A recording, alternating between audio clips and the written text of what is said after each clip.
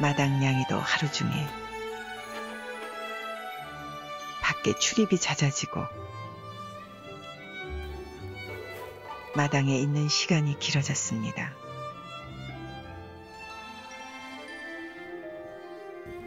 어느 날 양이에게 갑자기 찾아온 몰아치던 추위도 양이의 호기심을 이기진 못하나 봅니다.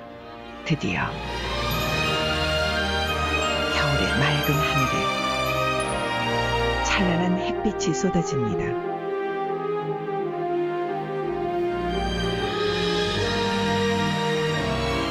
친구들과 산책도 즐길 수 있게 된 이곳은 이제 겨울이 끝나갑니다.